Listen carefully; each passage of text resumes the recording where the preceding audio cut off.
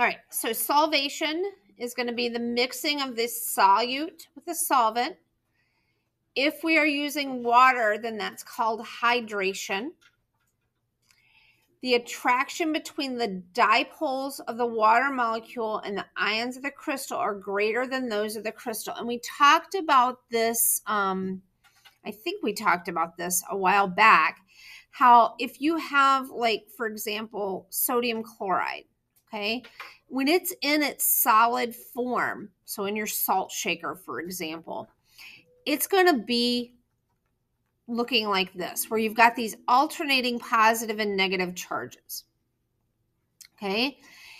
If I have that and then I have uh, a glass of water over here, that water is going to have some attraction between the oxygen and the hydrogen. These poles, they're going to have an attraction between them.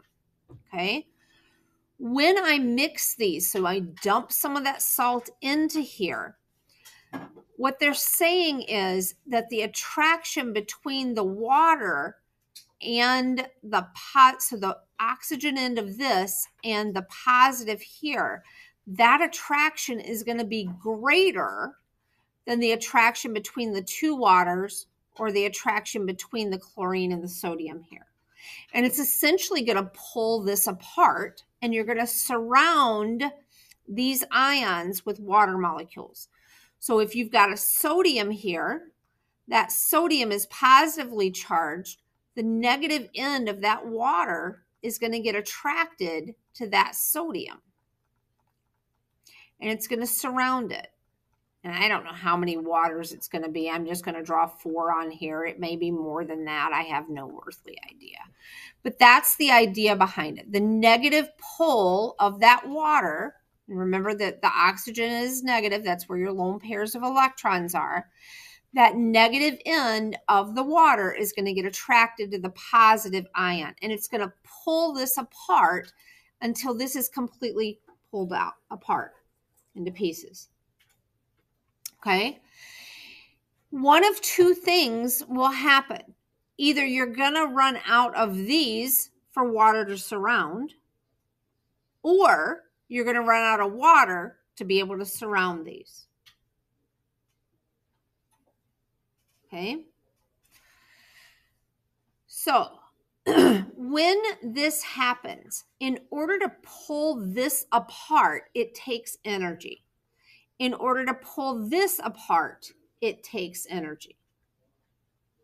And then when they come together, it's going to release energy. And I kind of think of it like two magnets, right? If I had two magnets and I was trying to get them to separate, I would have to put some physical energy into that to get those magnets pulled apart, wouldn't I? Okay. But when those magnets come together, they just pop. And I don't need to exert any energy in them. They, it just happens. Okay. That's going to release some energy into the world. Okay.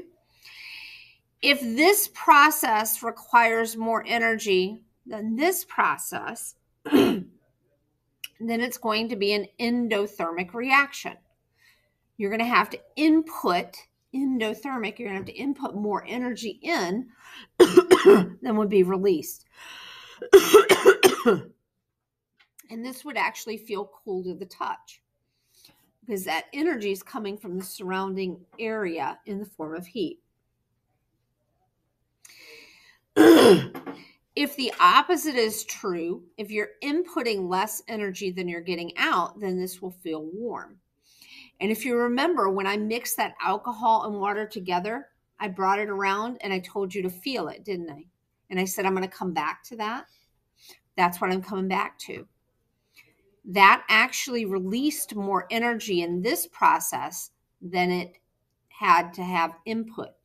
So it felt warm when the alcohol and water mixed together. That was an exothermic change because heat is being released into the surroundings and you're feeling that with your hand.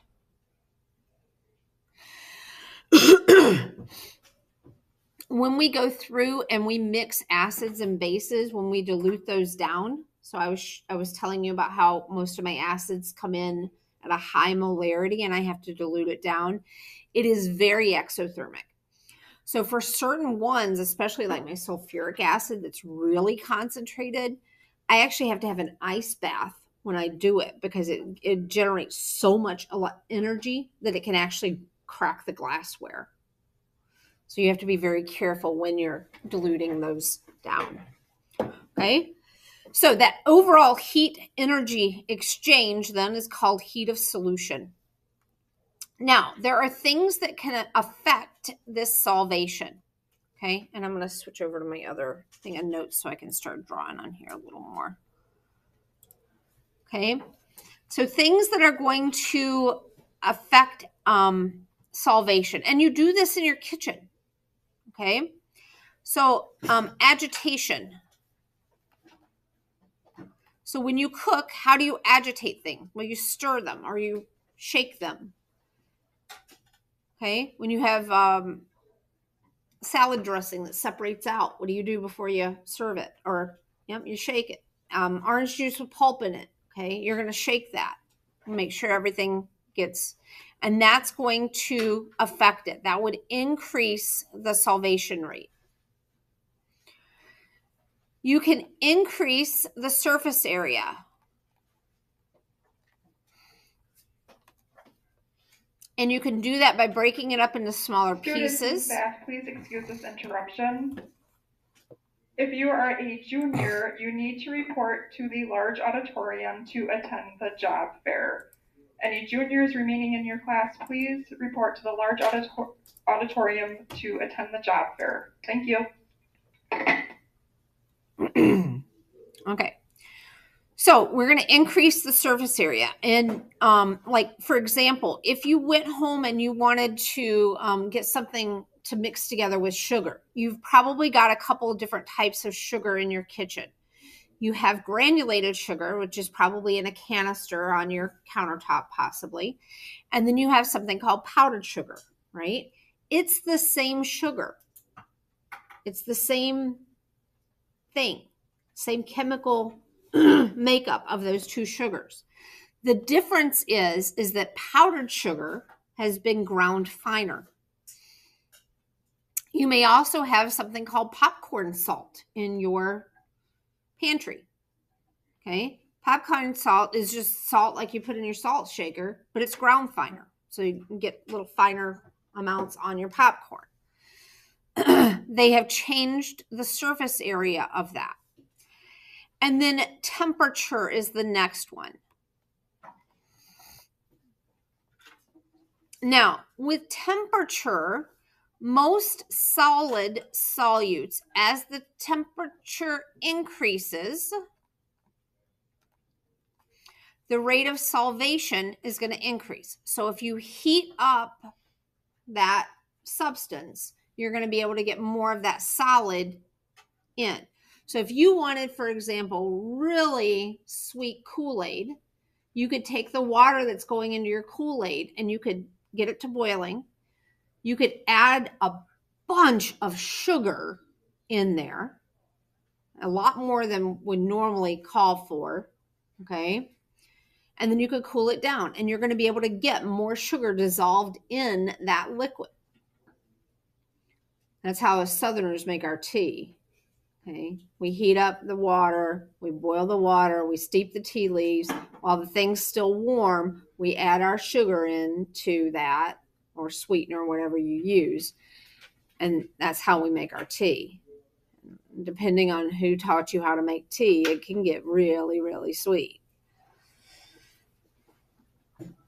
Now, I know uh, for some of you that are purists when it comes to tea. Like we just complete, and yeah, I know, I know what we do to it. I get it, but it's how we were raised. So, you know, tea in our baby bottles. Y'all got milk, we got tea, sweet tea.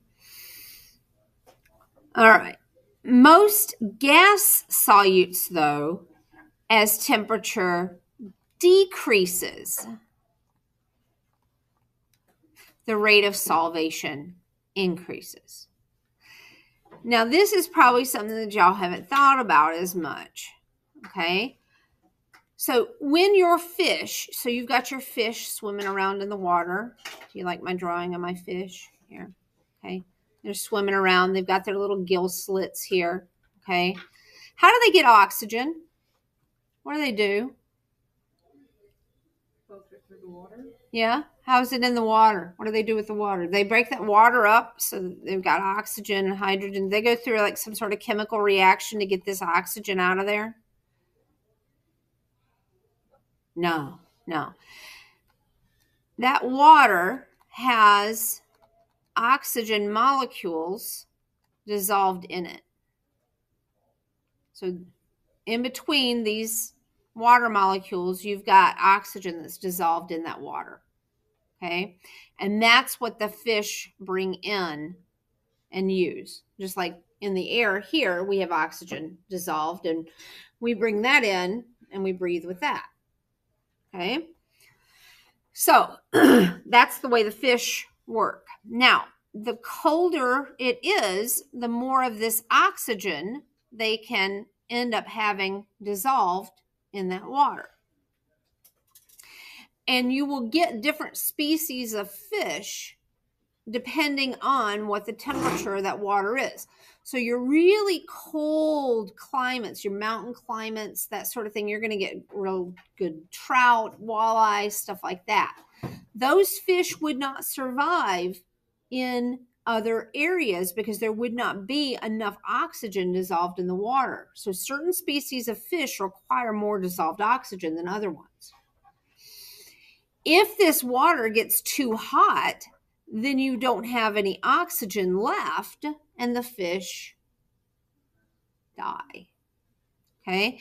And you'll see that during the summer, sometimes when it gets really hot, the fish go belly up because they don't have enough oxygen dissolved in the water anymore. Or if an industrial plant like releases a whole bunch of really hot water into a lake, you'll have a fish kill because the water, the fish don't have enough dissolved oxygen in there to survive. Okay. Solubility also depends on the nature of that solute. Okay.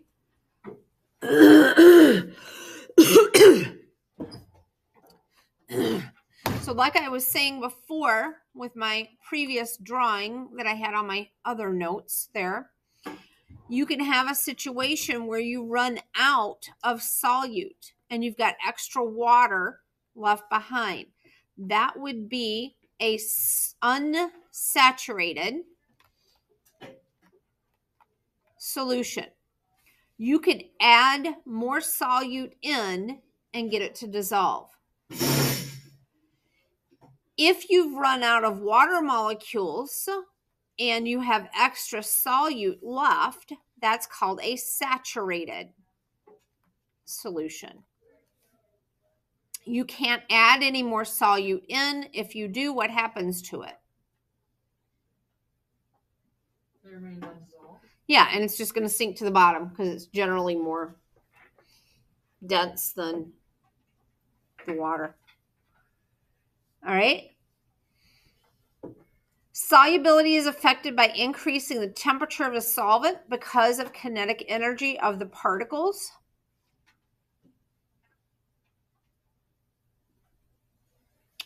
Was I trying?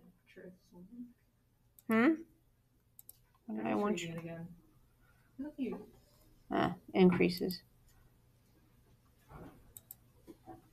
So because that increases, increasing the temperature of the solvent will cause it, and then that's going to increase the solubility. Okay. So a super saturated solution, and I was going to try to get you guys mixed one of those up, and I forgot to do it. That was something that I was going to um, get done, and I forgot to do that too. Sorry. You can look those up though. But these super saturated solutions are going to contain more solute than they should. They are highly unstable though. Okay, I'll see if I can find a video online in just a second with that. Let's pop over and see if we can find one of those.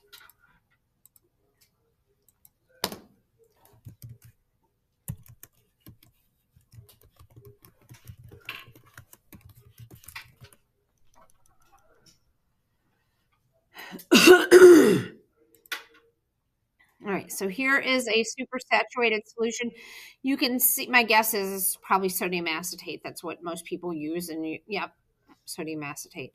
Um, so what you do is you add, you heat this up and you keep adding sodium acetate and sodium acetate way more than it should have. But at the higher temperature, it's going to dissolve more in there. And then over time, you can let it sit and cool you can add what's called a seed crystal in and then watch what's going to happen with this guy when they add that seed in.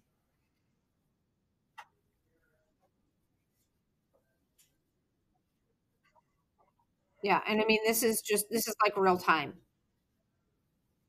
And it's going to end up being a solid then inside there.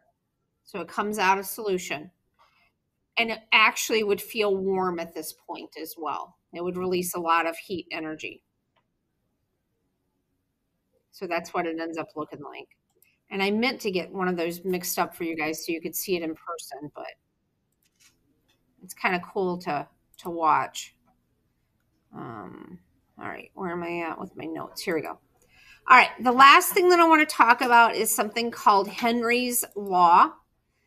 And Henry's law involves gases that are dissolved in liquid solvents. Okay, so the solubility of a gas. What did I want to do there for that? Which way did I want to phrase that?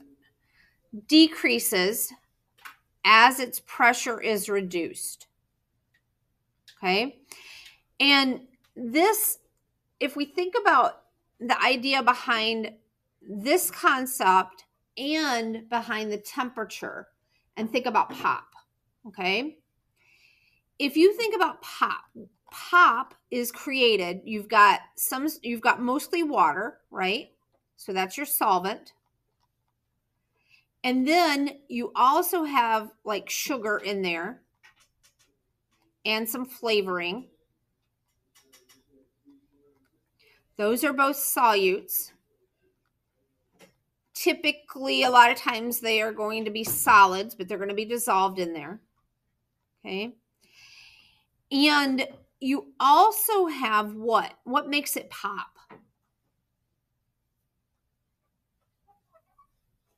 What makes it fizz? Eric? Yeah. So carbon dioxide is dissolved in there, and that's a gas. Okay, so that's also going to be dissolved in, and that's what makes it pop and fizz. Okay, is actually that carbon dioxide coming out of solution.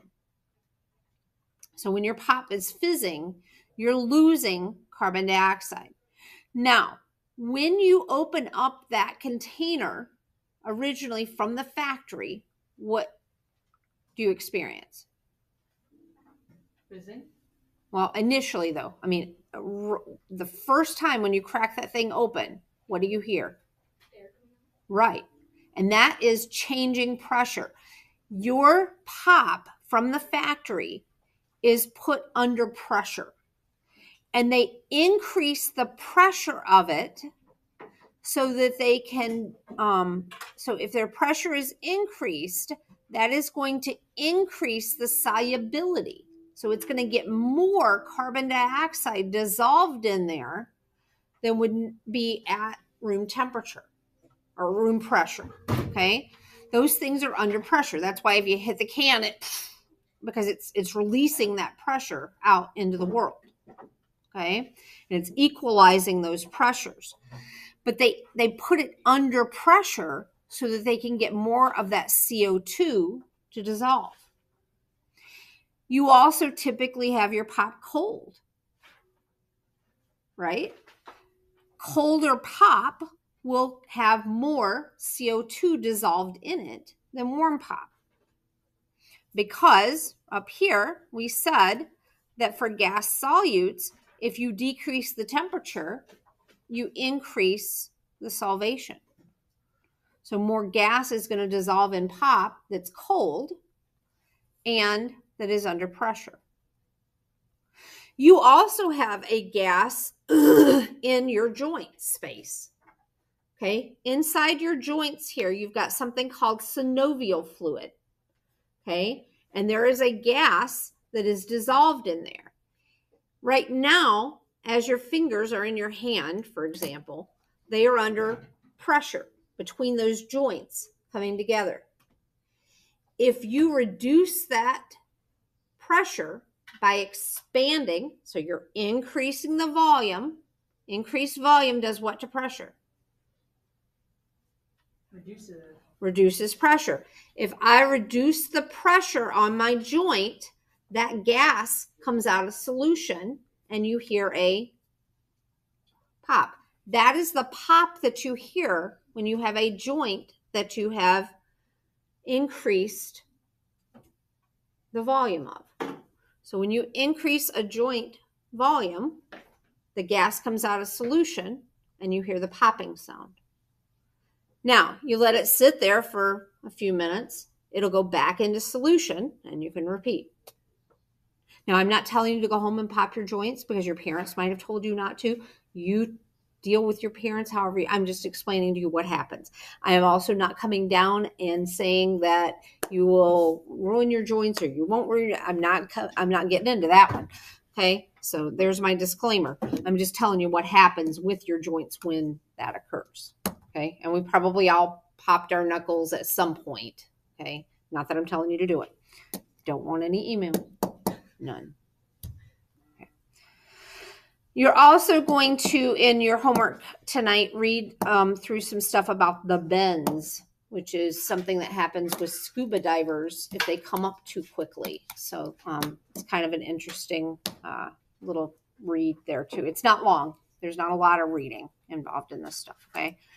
Um, if you go over to classroom, I have a um, few articles that are attached or will be attached to today's post on there. I'll get those up um, very quickly for you. Um, so today is going to be 14.4.